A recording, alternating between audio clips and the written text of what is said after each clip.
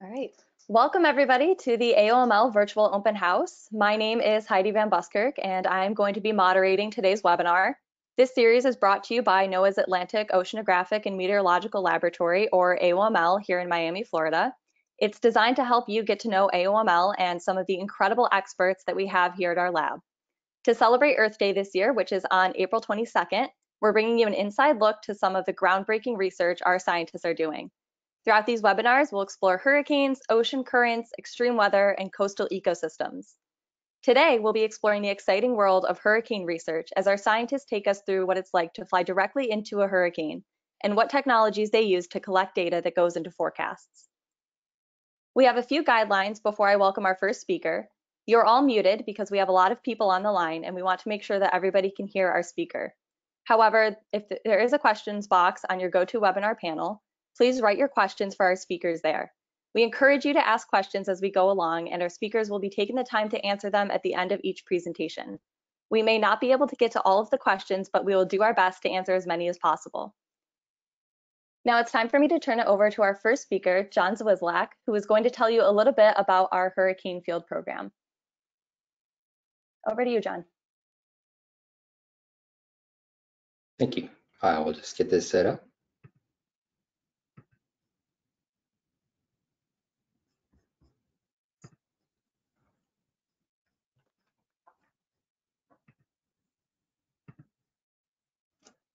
Okay, that should be all set up. All right, so thank you and good evening to everybody for joining, and we appreciate your interest in, in what AOML uh, does. And I want to kick us off uh, this evening by talking about just broadly our hurricane field program, which is a program that we fly uh, annually uh, at HRD with uh, with a number of collaborators, both within NOAA, outside NOAA, and, and with academia. And this is a program that we've actually been flying for decades now, ever since the 1960s.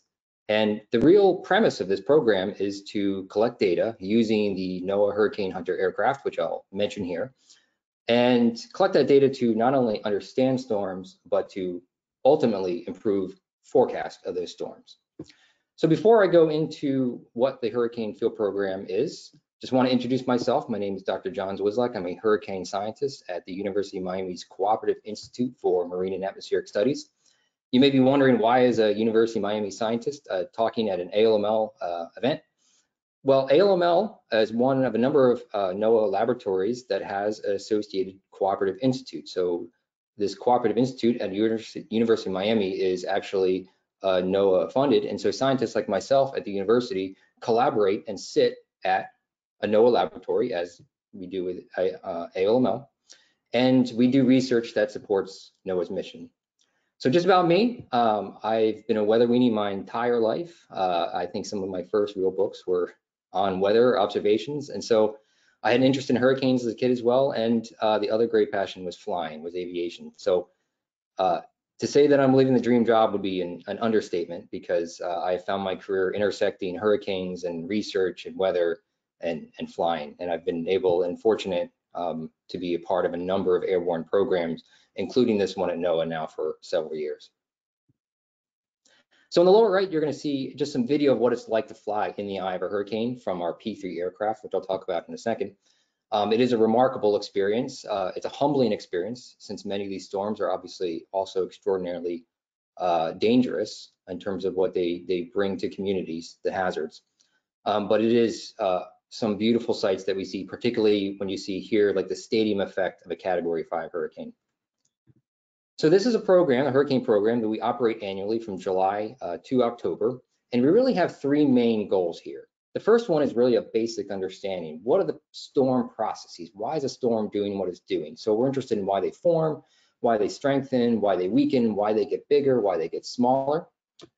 And then the second component is we use these aircraft observations that we're collecting for real-time monitoring purposes. So the, the idea is to sample the intensity of the storm, the structure of the storm, how big is the storm, how big is the wind field, what hazards are they bringing? And then we deliver that information to the National Hurricane Center. And then the third component is these forecast models. So we're taking the observations and then we're sending the models. And so what we do is we evaluate models, the forecast, to see how accurate they may be with the observations that we take in an actual storm. And then we also do what we call data assimilation. So we actually take the observations, we put them into the initialization of the model to make that initialization of where the model starts look more realistic, and then that'll help make the forecast better. And so ultimately, that is our mission, to improve hurricane forecast. The track of the storm, the intensity of the storm, and the hazards associated with the storm. And so Rob Rogers will talk in a second about the specific observations that we take with these airplanes, but I want to talk about the airplanes themselves, so the platforms that we use. So you may be familiar with these, but uh, at NOAA we have a business jet-like airplane called the G4. It is nicknamed Gonzo. We have nicknames from Muppets. Now, this airplane that you see in the left here, and you see a video from the airplane at center, this airplane does not penetrate the storm core. We typically don't put this in the eye wall or the eye of a hurricane. It doesn't like a lot of turbulence. What we do is we fly this airplane at about 45,000 feet around the storm. Okay, so if you look at the bottom figure there, you'll see a typical flight track, as we call them, from the G4, and the red is the flight track. And what you see is that we spend a considerable amount of time in, in the environment, the surrounding area around the storm. Okay, not so much in the inner core of the storm where you see this the, the cyclone there with the Hurricane Jerry and all of its cloud. So the idea here is to get observations around the storm and the primary goal being to improve track forecast. So all those Ds that you see at the bottom, those are drop dropsondes that we release from the airplane. Rob will talk about the drop dropsondes in a second. But we're essentially seeing what air masses and what flow is the storm heading into and what might affect its track. And then we also try to get as close to the storm core as possible. We don't get in the core. We're not in the eye. We're not in the eye wall, but we get very near it into what we call this near environment. So we're gonna do a circumnavigation around the core of the storm. So if you look at that bottom image, you'll see a hexagon around the main cloud field. That's that circumnavigation. And so the idea is we wanna get into that near environment and see how the storm is interacting with its surrounding and how that may affect its future strength and its future track. Now, what airplane do we send into the storm? Well, that is our P3. This is the workhorse for the in-storm sampling. It can handle the high winds, the high rain, the high turbulence that we experience in the rain bands and the eye wall and the eye of the storm. So this airplane is a, is a P3. It was a subfinder built in the 1960s, uh, converted into a scientific laboratory. We have two of these P3 aircraft. One is nicknamed Kermit, the other one is nicknamed Miss Piggy. Now this airplane is a four engine turboprop, so it's a very sturdy airplane. We typically fly this from about thousand feet before a storm forms. Uh, and then in a hurricane, we get up to about eight to 10,000 feet. And then we can even fly this airplane up to 25,000 feet and get even above that and, and, uh, and get deeper observations over a deeper layer in the atmosphere. So how do we fly it? Well, we do a series of passes through the storm with this airplane or bisects the storm. So if I turn your attention to the, to the lower left here, you're gonna see what it looks like to fly from a data perspective. So we're doing a number of passes. So we're starting the outside of the storm, we're flying through all that rain band activity. We get to the eye wall of the storm, that most intense wind and rain that we're gonna experience, and then we get into the eye. And so we're measuring the peak intensity, how big is the storm, what is the minimum sea level pressure at the center of the storm. And then we're gonna go out of the storm, back out into the environment, and then we're gonna do a repeated one, kind of rotating those passes. And if you put them all together, you get this full horizontal picture of the storm. But the beauty of the observations we take is we also get vertical depth. And so this next image is just slicing through the storm from the surface up to a higher level in the atmosphere. And this is from our tail Doppler radar. Rob will mention that in just a second, but we're essentially doing a CAT scan, a 3D picture of the wind and rain in the storm. And the ultimate goal is to look at inner core processes. How is all this rain and wind evolving and how does it impact how it forms and how a storm perhaps strengthens or weakens? And so how do we do our job on the airplane? Well, you'll see a video on the lower right here. That's some of the activity and us at our workstations on the P3. But what we're doing first and foremost, of course, is collecting observations. The instruments are running continuously on the airplane. And then as onboard scientists, we're then quality controlling the data. So we get the data, and you can see this in the right. They're looking at data on our workstations, and we're figuring out what data is good and what data is bad. We only send good data off the airplane. So we're quality controlling the data, and we're sending it off the airplane. Where are we sending it to? We're sending it first and foremost to the National Hurricane Center. They're interested in the real-time state of the storm. How big is it? How strong is it? What's its structure? So we deliver that information. That'll help the Hurricane Center update their forecasts, their advisories, and issue watches and warnings.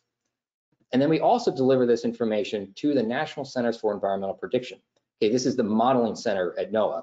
This is where the observations are going into the models through that data assimilation I talked about earlier and helping initialize the model with a more realistic storm and create a better forecast. But in parallel, as researchers, we're again, we're, we're learning how to better initialize the forecast models with the aircraft observations. And then we're evaluating those models. We're trying to see how we can make the models better using that grounded advice that we get from the data we collect in the actual hurricane. And then second, we're interested in new technologies. You're gonna hear from Joe about some new technologies in a minute, but we wanna know where are we missing? What gaps in the storm have we not covered and we need to cover in the future? Not only to help us understand the storm, but to predict it better. So we're always seeking new technologies on board the airplane. And then finally, again, that basic understanding, what we call basic research, understanding the core processes that drive these storms. And so the aircraft observations over all these decades have really helped their advance their understanding of the storms and helped us forecast them better. So this is a broad overview of what we call the Hurricane Field Program, and specifically we call it the Advancing the Prediction of Hurricanes Experiment, or APHEX. This is a, a new acronym for this year, although we've been essentially flying under these goals now for decades, and we have made great advancements in forecasting and understanding of hurricanes because of these aircraft observations. So I thank you for listening to this broad overview. You're gonna hear more specifics soon, but for now, I, I thank you and I will take a few questions. All right, thank you for that presentation, John. That was fantastic. We do have a couple questions rolling into the chat here. Um, one of them being somebody is wondering if the pilots are also doing research or data collection, or are they just solely flying the plane?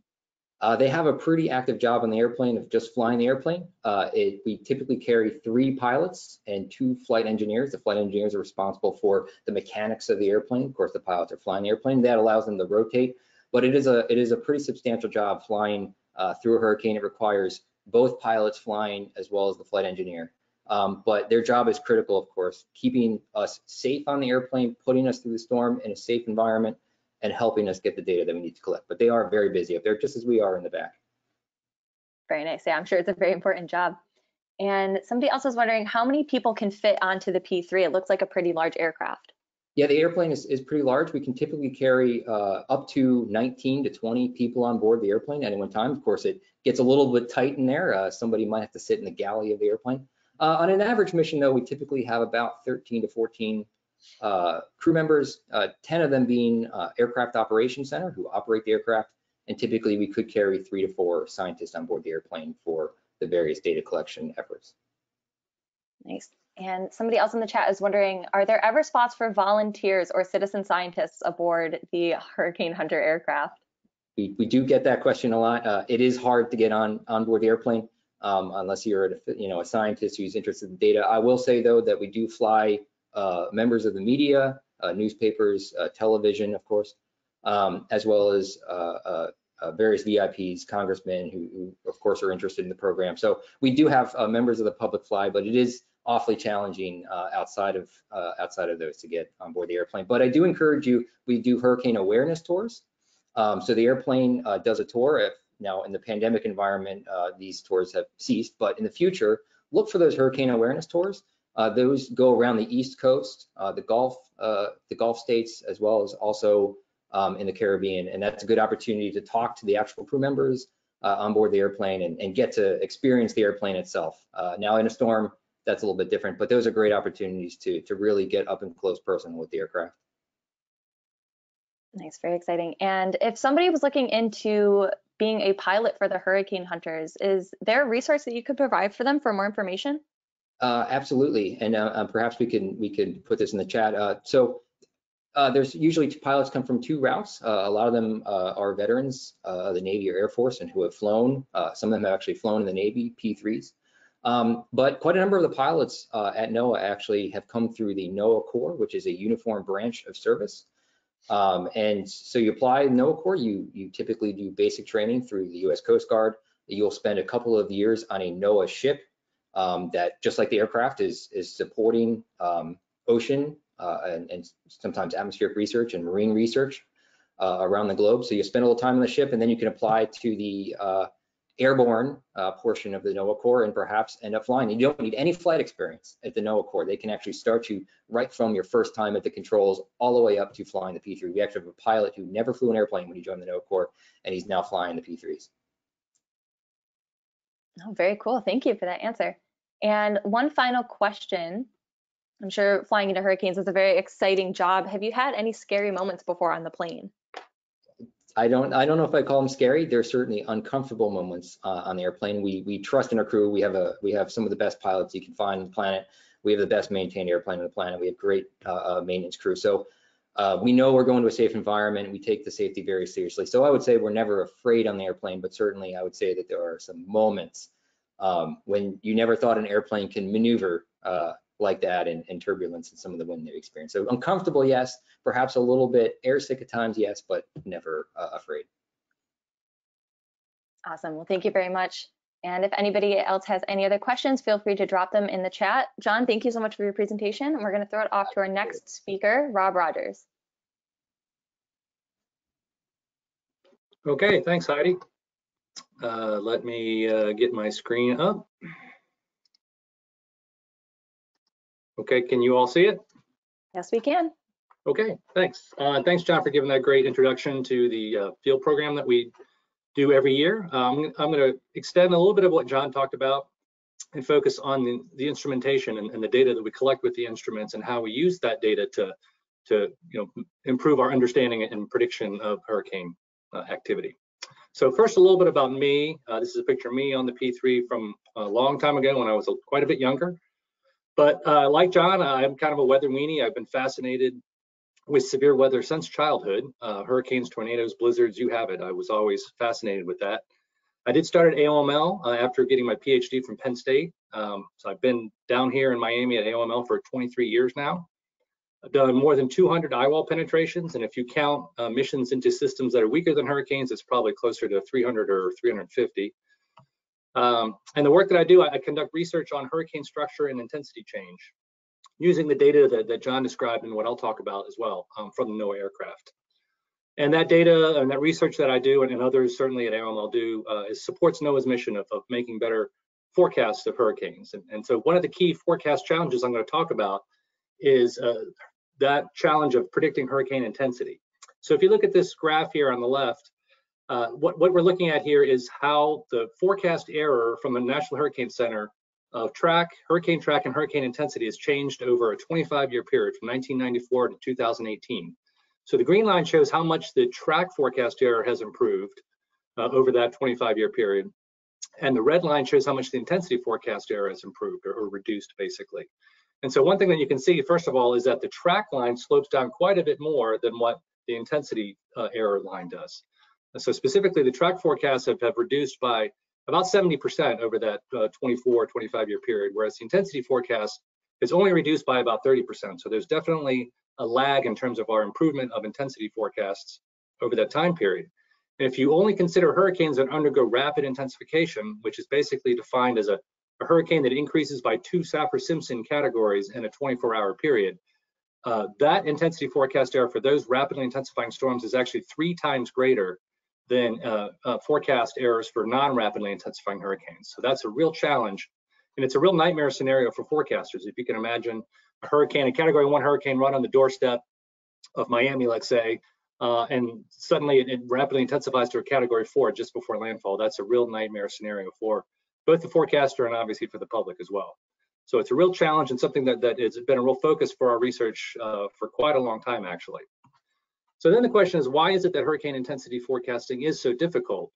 Well, if you consider all the physical processes that, you know, John talked about that, uh, all the physical processes that are really responsible for determining how strong a hurricane is, they really span a, a multitude of, of uh, spatial scales. They range from uh, processes and structures that can cover thousands of kilometers, a continent-wide or, or ocean basin-wide scale in the upper atmosphere, down to kind of a hurricane vortex scale, down to like 100 kilometers or so, coming down even further in size to, to just on the scale of individual thunderstorms, which might be one to two kilometers across, and coming even further down to a turbulence scale. So really, we're talking, you know, fractions of a kilometer, you know, micron scale even. Even if you consider, you know, the rain droplets and ice crystals and, and those sorts of things. All of those physical structures and physical processes, we have to sample and observe and, and understand how they interact with each other. So it's a real challenge you know, characterizing and understanding these processes and their interactions are really key uh, steps in improving our forecast. And What's great about the aircraft that John talked about is that they provide a unique opportunity to study these process, processes across all of these scales. So John talked about the aircraft. We have three primary uh, uh, crewed aircraft. We have the two P3s and the G4. I'm going to talk a little bit more about the instruments specifically. So on uh, each of those aircraft, we have what are called in situ measurements, or those are measurements that actually take data like by physically sensing that that that parameter. And so the, the, the fields that we measure with the in situ probes on the aircraft include the winds, uh, wind speed and direction, uh, pressure, temperature, and moisture. Uh, we also have what we call expendables. And so those are things that we launch from the aircraft and they just are, you know, lost basically into the ocean. Uh, dropsondes are one example of that. Uh, I'll, I'll, show you an example of that in a minute. Uh, but here's also a picture of a dropsonde. So you can see that there are little tubes that drop out underneath the aircraft. Uh, I think John showed uh, some examples of flight patterns with dropsonde locations on them with a parachute. and so those dropsondes report back, you know, temperature, pressure, moisture, and, and winds. And we also have aircraft launched ocean probes. So those are probes that, that are launched from the aircraft, fall to the ocean and measure sea surface temperature and subsurface temperature and current and, and um, um, salinity as well. We also have what we call the remote sensors. So unlike in situ measurements, these are, are instruments that actually send pulses of electromagnetic magnetic radiation uh, that then whatever we get back to the sensor itself can give us information depending on what frequency we're looking at. And so some examples of that include the tail Doppler radar, uh, what's called the step frequency microwave radiometer. I'll talk about that in a minute. A scanning radar altimeter, which gives you measurements of the, the ocean roughness and, and, and allows you to see what the wave field looks like, and a Doppler wind LiDAR. Uh, so that actually uses laser technology to measure uh, whether it's wind speed or even temperature and moisture, looking at really fine scale particles that, that the radar typically cannot see. So these are just some examples of what a radar antenna looks like, as well as what the LiDAR looks like on a, on a P3. And finally, uh, you know, we've been talking about crewed aircraft, but there's also uncrewed aircraft, uh, kind of the drone technology, and Joe's going to talk about that after me. Uh, but the two kind of major categories of that include uncrewed aerial systems or UASs and ocean gliders. So what are some of the instruments? Uh, here, here's some examples in terms of the airborne radar. So on the P3 aircraft, um, there are three primary uh, radars uh, the red cone that you see here, that's called the nose radar. So that looks forward in front of the aircraft as it's flying. And so that's primarily used by the pilots for, uh, you know, safe navigation through rough weather. We don't use that typically in our research, but the, the radars that we do use in our research include that blue circle you see underneath the aircraft at the LF. That's called lower fuselage, or it's kind of the belly radar. So that scans horizontally around the aircraft as it's flying. And uh, that gives us a, a measure of the, the re reflectivity and the rainfall uh, as the plane is flying through the storm in a horizontal sense. And then the other uh, radar, you see the green circle, that's the tail radar, the TA radar. So that basically, as the plane is flying, it's scanning uh, perpendicular to the flight track of the aircraft. And so John mentioned the, the term CAT scan. It's a radar that really does provide like a, a nice picture of, of the inner core uh, guts of the storm, if you will. Uh, so it's a nice uh, way to get a, a, real sense of what the inner core structure, at least in terms of the, the rainfall, the reflectivity, and the wind field. Doesn't measure temperature and moisture though. So here's a picture uh, again of what the lower fuselage radar looks like. You see the little red circle, that's that belly radar underneath the uh, underneath the P3. Here's just an example of an image that you can get from, that, from the LF. So this is showing you again reflectivity, uh, giving you a sense of the rainfall. So, you know, the, the warmer the colors, the bright reds, that's really high reflectivity, really heavy rain rate, often associated with higher winds, although we can't see that directly with the LF radar. But you can see structures like spiral rain bands and the eye wall uh, with the LF radar.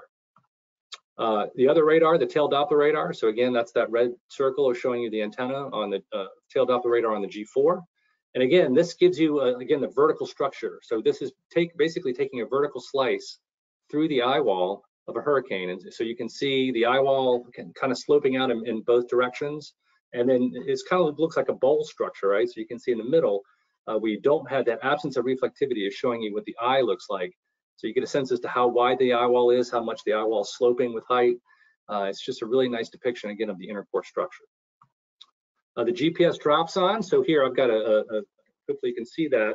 This is a really about how the size of the dropsonde. It doesn't weigh that much. It's maybe about a pound or two. Uh, so we release these from the aircraft underneath the aircraft. And as it drops down, a parachute opens up and then it falls uh, kind of slowly to the surface. And as it's falling again, it's reporting back all these measurements like temperature and pressure and, and wind.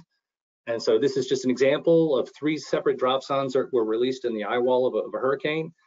Uh, so you can see going from about three kilometer altitude, about 10,000 feet down to the surface, you can see you know a lot of variation in the wind speeds with each of these three dropsondes, but you can see some examples from two of the dropsondes at least where the winds actually exceed category five wind speed at about uh, you know 1500 feet or so above the surface. So you can see a lot of variation, especially as you get really near the surface. So it's you know, very important to be mindful of what the winds look like, not just at the surface, but just slightly above the surface, especially especially if you live in a high rise. Uh, you know, you may be experiencing very different winds at you know a thousand feet versus at the surface. Here's a video uh, showing what it looks like to release a dropsonde. So that what I just showed you, this is a, one of the uh, aircraft operators releasing the dropsonde. He puts it in a tube, seals it back up, and you can't hear it, but there's a whoosh sound as the dropsonde goes underneath the aircraft. Obviously, it, it's uh, released based on the fact that you have higher pressure within the aircraft versus in the atmosphere. You know, you're flying at altitude there, so that higher pressure basically moves the dropsonde out underneath the aircraft and you get that information as the dropsonde falls to the surface. Another instrument is called the step frequency microwave radiometer. So this is a picture of what that, that uh, antenna looks like underneath the aircraft here. And so what the SFMR uh, measures is it basically measures the brightness of the ocean surface. And the brighter the ocean surface, the stronger the wind speeds. And so it's a nice way to get a measure of how strong the winds are right underneath the aircraft. It's very helpful, very important for the National Hurricane Center. And so these are just some examples of some of the measurements that we can take with the SFMR. So the left panel, that little squiggly line there, looks like a you know a bunch of uh, different triangles. That's showing the flight track of the P3 aircraft. And then on the right, you see time series of both winds at the flight level in red and winds at the surface in black measured by the SFMR. So you can see multiple times, I think five or six times, the aircraft actually passed through the eye wall. So you can see those little spikes uh, so that's a, you know a nice again measurement that we can take with uh, with the SFMR. And usually what we found is that the winds at the surface are uh, a little bit weaker than the winds at flight level. So you know there's a lot of data that we collect. And, you know it can often be very you know impressive, and so scientists often can be quite impressed, but also they can be very tired. So this is not uncommon to see on these flights, especially at the end of a long mission and missions that happen overnight. Uh, but nonetheless, you know we do everything we can to get the data uh, to better both improve our understanding and ultimately improve the prediction of hurricanes. So I think that's all I've got. Hopefully I have some time for questions.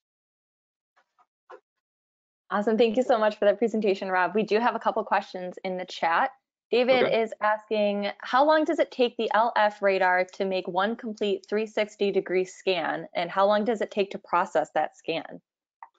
So it makes a scan, I think it's probably about every, um, I would guess every 10 seconds or so, something on the order of that. I don't know the exact time but you know, so it'll, it'll take a sweep, and so we can actually look at individual sweeps. You know, we have real ways to monitor in real time, like on the aircraft itself, what those images look like, both the LF as well as the tail radar. Uh, but a lot of times, what we'll do is we'll take that information uh, and do create what's called a composite. So you know, we might actually consider scans over about a five to 10 minute period. And so what that does is it kind of filters out a lot of noise. And so we can really put together a really nice picture of what the image looks like uh, from the LF. Uh, so, you know, indiv individual scan, it just takes a few seconds, but, you know, a lot of times we do a composite over some period of time to kind of clean up those figures. Awesome. And Samantha is asking, are the drop dropsondes recoverable from the ocean? They are not. Uh, we design them, and I think over the past uh, many years or so, as we've gotten more, you know, uh, advanced with our technologies, we design them to be as biodegradable as possible. Uh, but still, there are some things, unfortunately, that that really do not uh, degrade. Um, the, what we figure about that is that the, you know the benefit that we get with those dropsondes, and there's actually been a lot of research studies that have shown the benefits to our forecast, in especially in terms of track forecast with the dropsondes. Uh, we feel like the benefits outweigh the the cost in terms of the environmental impact. But nonetheless, that is always something that we're we're working toward uh, minimizing that as much as possible. Awesome. Okay. And somebody else is asking, what's your favorite part about studying hurricanes? Flying in them. so, no, it's uh, it is. It, it, I think John said something along these lines too. It's really an, an unbelievable opportunity, uh, and it's something that I'm very fortunate to have the chance to do. Uh, and to work with the crew, you know, the, both the, the, aircraft operations crew as well as the, the scientists that fly on board.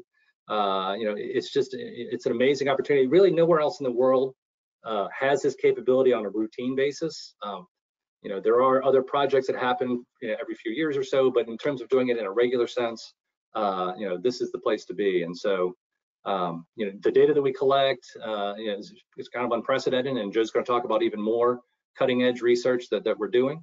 Uh, so, you know, those opportunities to really uh, learn about how nature works and ultimately to take that knowledge and make a product that serves society, I think is also, uh, you know, you can't ask for anything better than that. Awesome. And another audience member is wondering, what sampling instrument do you think provides the most return on investment for data collected? Oh, uh, that's a tough one. I mean, you know, you ask any person, whatever they study, they're going to say that's the most important instrument, right? but um, you know, I, I don't, I, I it, that it is really hard to say. I mean, what I can say is that we have definite gaps, even with what I described. There, there are parts of the atmosphere that we don't sample enough, I would say, and that we should put more emphasis on sampling more of. Uh, in particular, uh, right near the ocean surface, uh, we don't have a lot of measurements in what's called the boundary layer. And so Joe's going to talk about, again, some technologies that are really getting at that problem. Uh, we don't know what the temperature and moisture fields look like in right near the surface. Um, we have a sense of what the winds look like, at least at the surface with the SFMR. But in terms of the temperature and moisture, that's really key to determining where you know, the transfer of energy from the ocean to the atmosphere is going to occur. Um, so that's one gap that we have. We have gaps in, in, upper levels. We don't really get good temperature and moisture measurements above the altitudes of the P3 within the inner core. So the G4 aircraft does fly high altitude, but it typically doesn't fly over the inner core. It kind of goes like the circumnavigations that John was showing. So those are also data gaps, I would say. So uh, you know, I think investment should be made in, in, developing those technologies. And again, I think, you know, Joe's going to talk about some of those investments uh, next. Absolutely. Okay. And the last question is from Maya, and she's wondering how useful are drones? But I actually think we're going to use that as a nice little segue into our next presentation. Uh, Joe Cione is going to teach us a little bit about how we use drones to improve hurricane forecasting. So thank you very okay. much for your presentation, Rob. And I'm going to throw thank it over to Joe.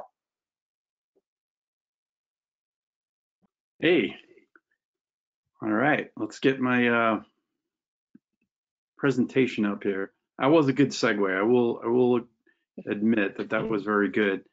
Talking about gaps that we have,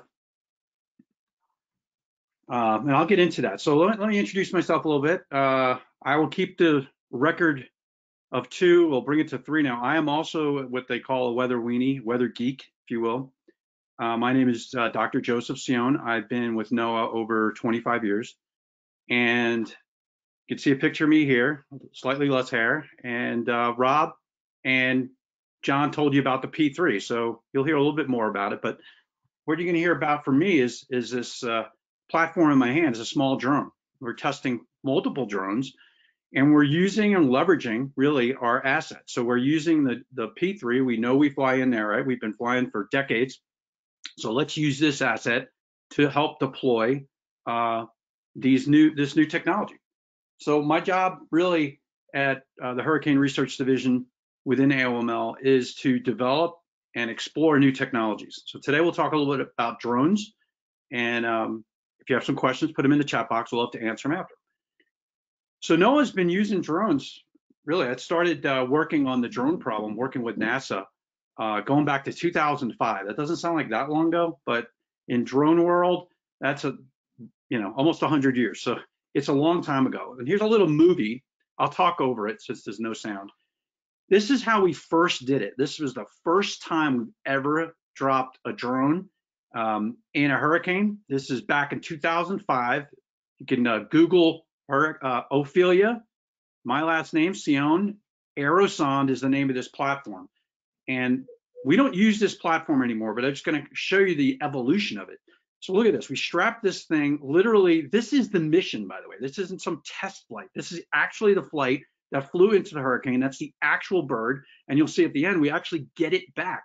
So this concept of operations, you heard me say the word CONOP, is to basically deploy a drone from land, get the mm-hmm. team in place, hope that the storm, see the storm is coming up the East Coast here, we deployed from Virginia and fly into the storm and fly back. So while it's remarkable, even to this day, I'm kind of surprised and shocked that we actually did it because this is not a big aircraft. This is a, about a 25 pound plane.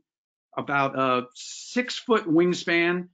And um, there you can see, there it goes, right off the plane. It's controlled initially by this guy, so it's sort of like a video game, you think. But once it gets far away, we use satellite to to to uh, basically control it because it obviously gets out of sight pretty quickly. So this concept of operations is something we were doing.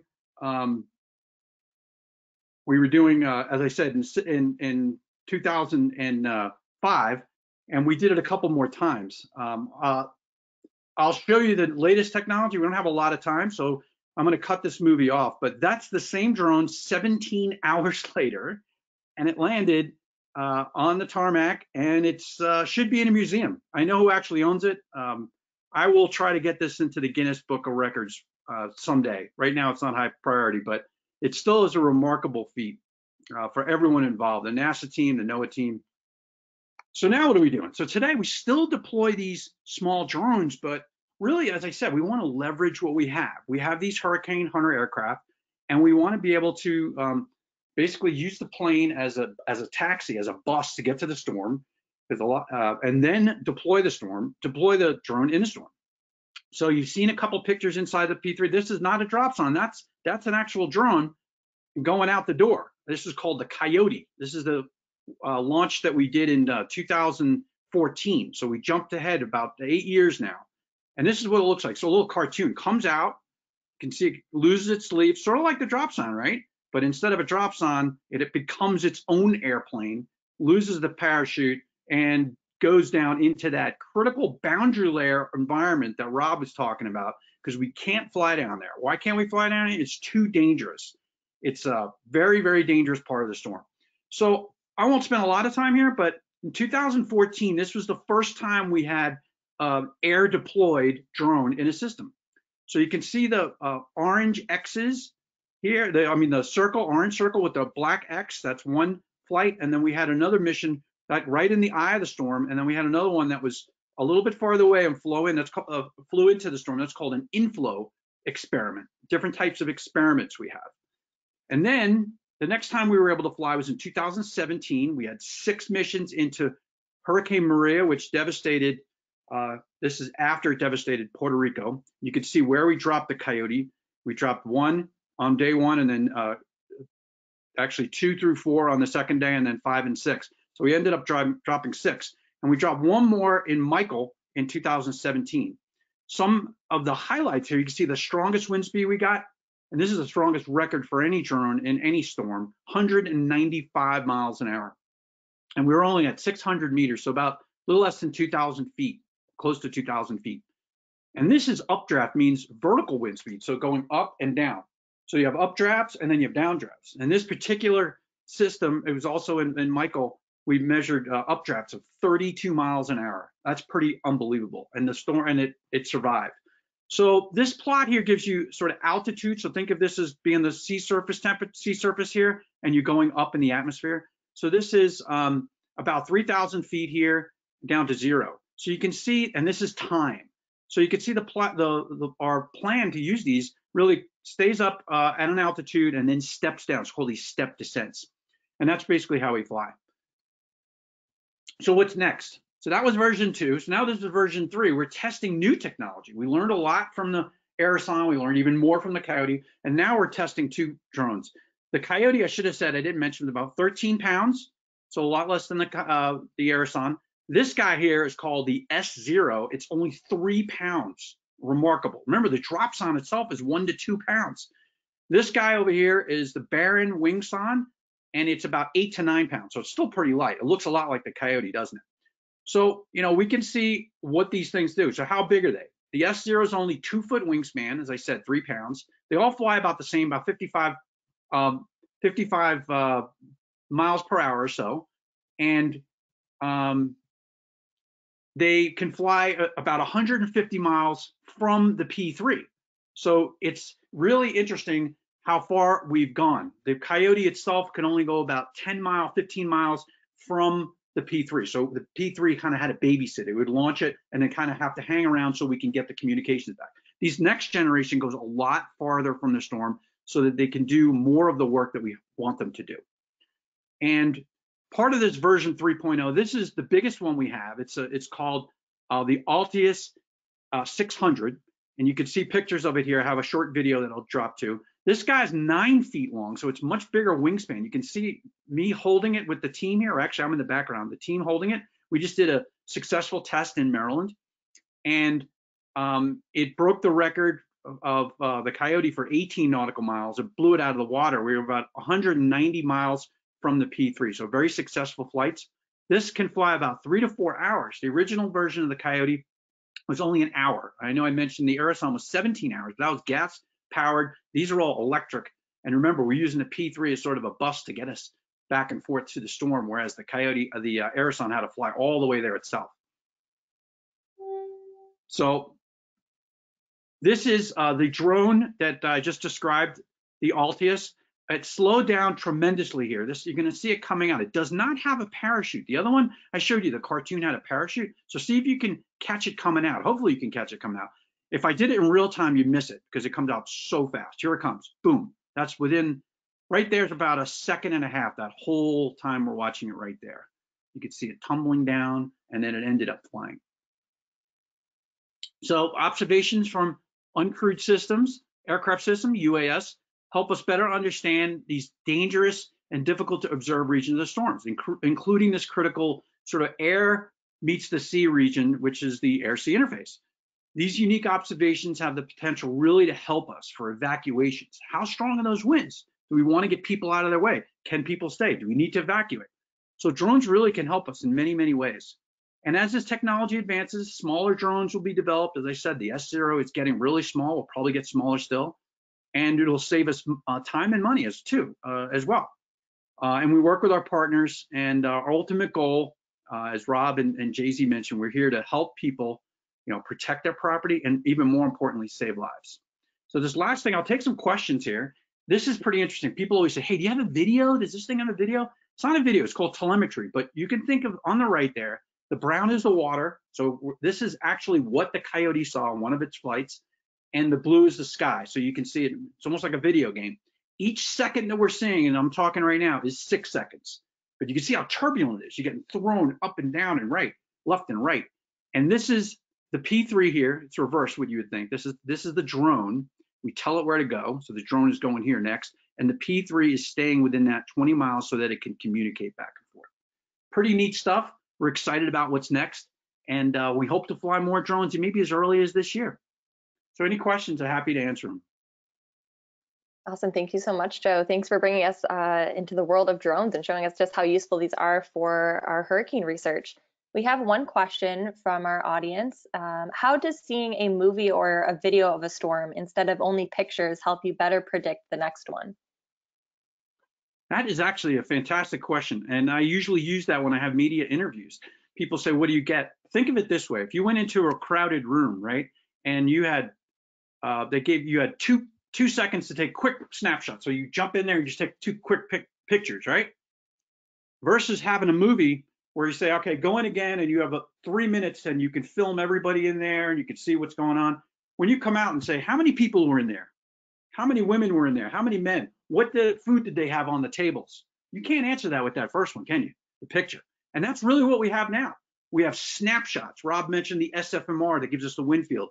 Uh, we have dropsondes that occasionally give us a point here and there, right? So now with the drone, you actually get a movie. We fly down there and stay down there for hours in that very difficult to observe region of the storm.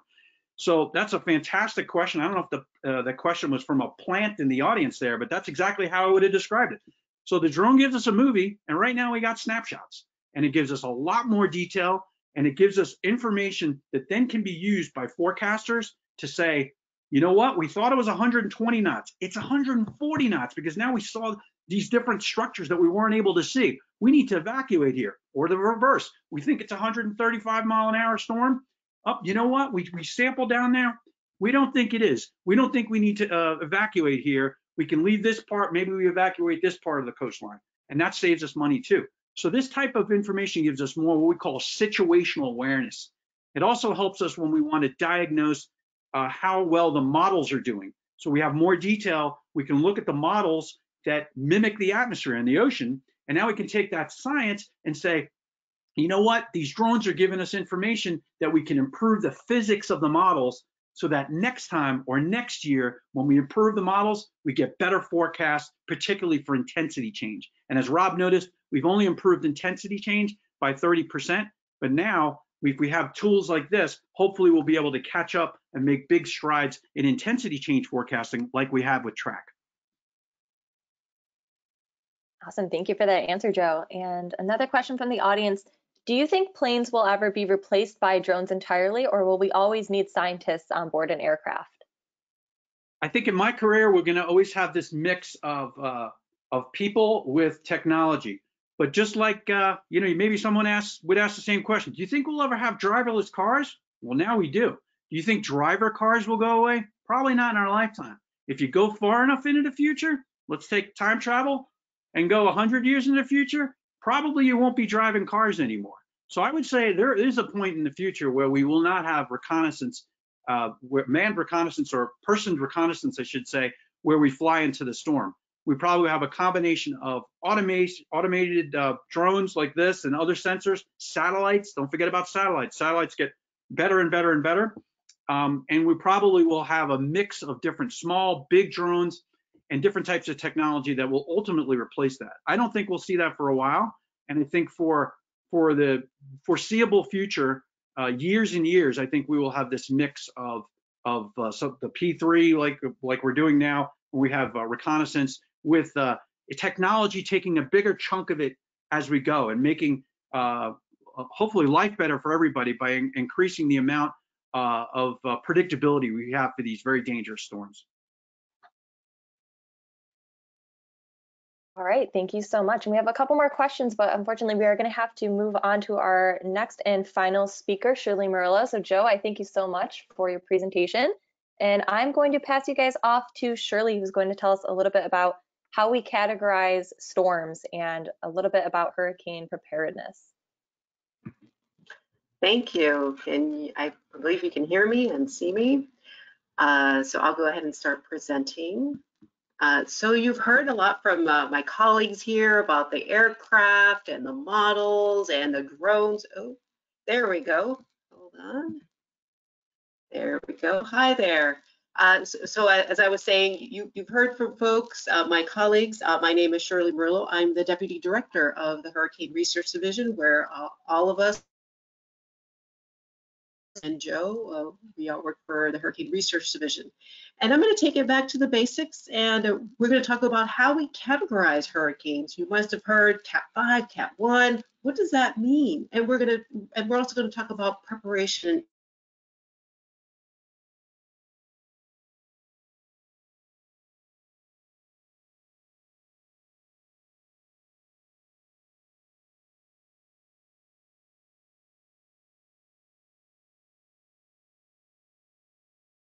Hi there, can you hear me now? Just want to make sure, it looks like, can you hear me now?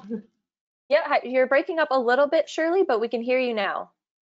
Okay, good, good. I, I, I got notification that I had lost my audio. So, so I'm, I'm back here. So, so again, I'm showing you that I, I too was uh, interested in science, not, not necessarily a weather weenie, but to me, uh, it, it, was a, a storm, a, a, very famous storm that, that hit my hometown of South Florida uh, back in 1992. And maybe some of you uh, remember uh, that was Hurricane Andrew.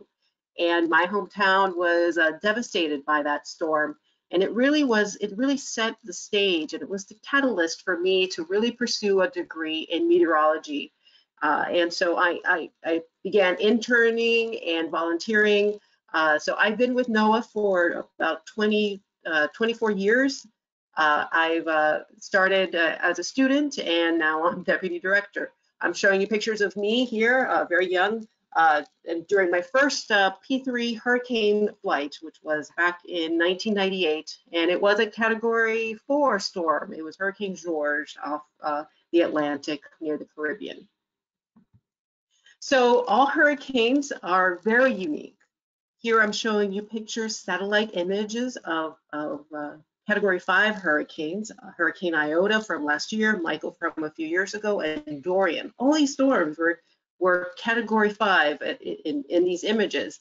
and yet they, they sort of look the same, but essentially they are very different. And so back in the 1970s, early 70s, there were two, two, two gentlemen by the name of Herb Saffir and Bob Simpson. Herb Saffir was a civil engineer and uh, Bob Simpson was a meteorologist.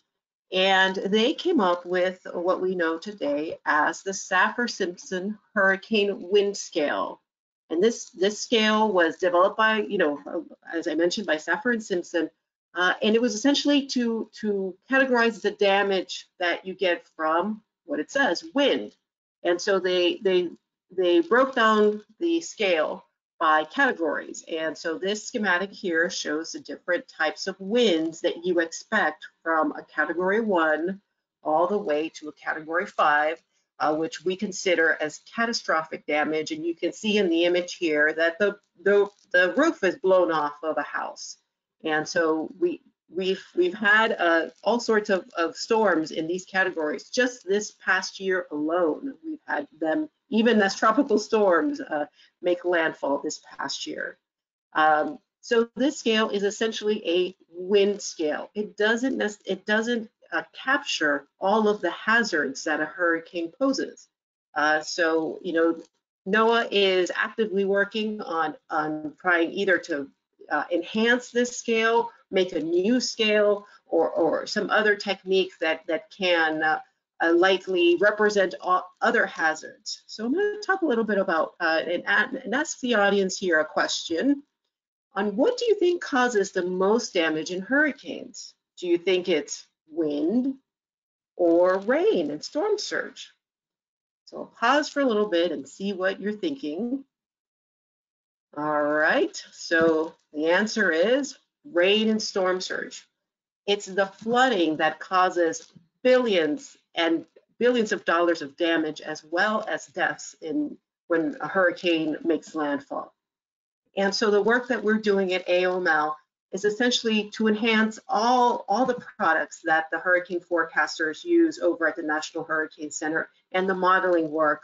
So, so we want to make sure that, that the, the, the products are, are actionable, uh, that are uh, that help you as a public make the decisions that you need uh, to either evacuate or, or, or hunker down when, when you need to.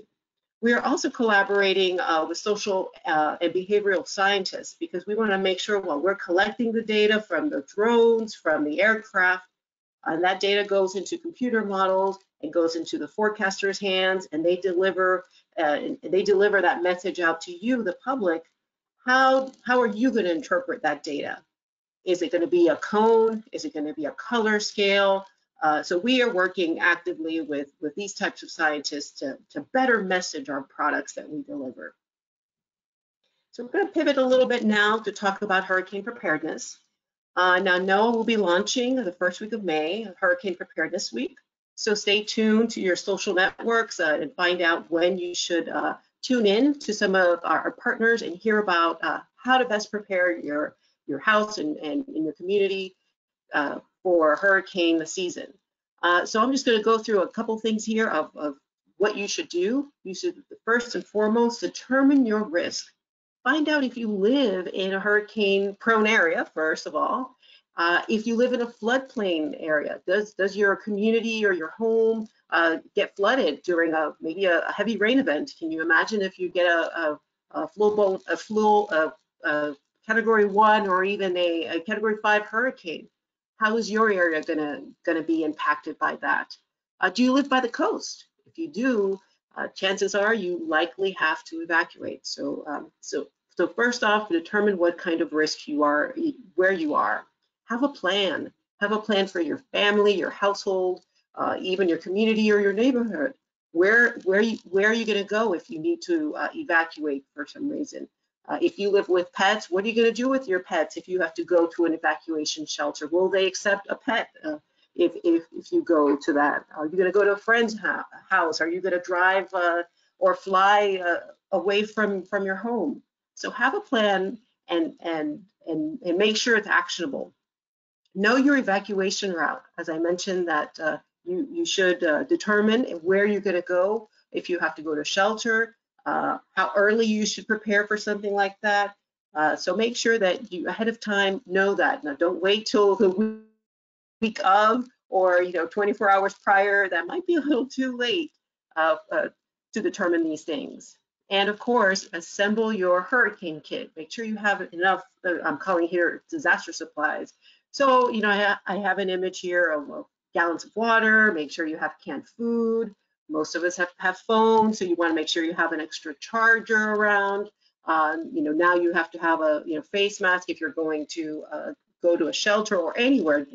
You don't know where you're going to end up. Hand sanitizer, batteries, those kinds of things. Make sure and extra medication if if if you need medication for some sort, or or even if you get hurt uh, for some reason and you might need uh, medication for that, a first aid kit, let's say. Uh, so these are the things. You know, now is the time I should say. We're in the month of April. Uh, you know, start thinking about these things uh, especially your disaster your disaster supply kit. Uh, so I'm preparing mine, and I hope you are as well. So with that, I'm going to take any questions that might come from the audience. I want to thank you for your time. Uh, you've heard all of what, what we've discussed here as far as our technology, why we fly into storms, the importance of it. Uh, so now I'll, I'll take some questions. Thank you so much, Shirley, for that informative presentation. Feel free to ask any questions in the chat box. We're going to start it out. Somebody is wondering if you could explain the cone of uncertainty and what that means. Okay, so the National Hurricane Center issues a cone of uncertainty when they put out their uh, their track map, their track forecast. And so essentially is what they are doing is that the forecasters are getting uh, uh, model, uh, weather forecast model uh, results, I should say. And each of these computer models, we have several in the United States. May, may, uh, some of you may have heard of the European model. Some people call it the Euro uh, mo model. There are many uh, computer weather models out there. And each of them are very unique and they give you different types of answers or prediction essentially of where the storm is headed. And so uh, what the Hurricane Center does is that they look at all of those models. You hear people say those spaghetti plots. Uh, so they take those and they build a, uh, a prediction. And with that, you have an uncertainty. Uh, our science is not an exact science. There's always some error. So it's always good to know to to build a, a cone uh, that that determines where the where the storm may be headed.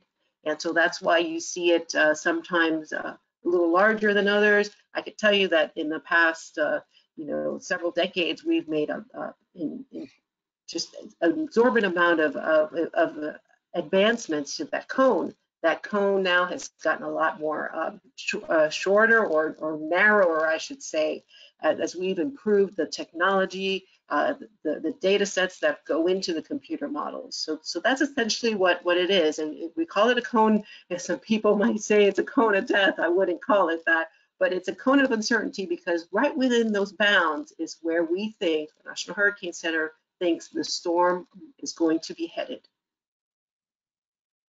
Thank you. And Samantha in the chat is wondering, how many days do you recommend having supplies prepared for? That's a good question, Samantha. I would say you should plan for maybe uh, three to four days, uh, maybe five, uh, no more than that. Hopefully, you know, you, will be, uh, uh, you, you'll either be rescued or, or power might come on. Uh, from my experience, I can tell you, we've been in storms and I've lost power at my house for two weeks. but you know we've we, have had enough supplies for them. So, but I think a week's worth of supply would be adequate. You know, make sure you have plenty of water. Uh, so that's my advice. All right, thank you so much. And if anybody else has any other questions, you can direct them to aoml.communications at noaa.gov. That is our comms email, and we will do our best to get back to you with a response. As we wrap up today's webinar, I'd like to invite everybody to hop back onto the screen here.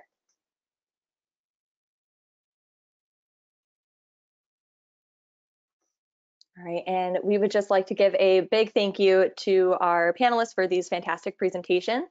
And also a big thank you to our viewers for tuning in with all of us tonight. And just a reminder that tomorrow, April 22nd, is our Coasts and Corals webinar, where we will be exploring coral reefs, learning about red tides, and seeing how our scientists are working to promote healthy coral ecosystems. And I will put the link to register for that webinar on our screen right now. So this is where you can register for tomorrow night's webinar using the link here, bit.ly slash AOML goes virtual dash coast and corals. So please keep in mind that this link is case sensitive. Uh, for more information on AOML's virtual open house, you can find us online at aoml.noaa.gov slash outreach and education. And you can also follow us online on our social medias on Twitter and Instagram at NOAA underscore AOML. So I want to thank everybody again for being a part of our open house webinar series, and we hope you stick with us for the remainder of the week. We'll see you tomorrow. Thank you. Thanks.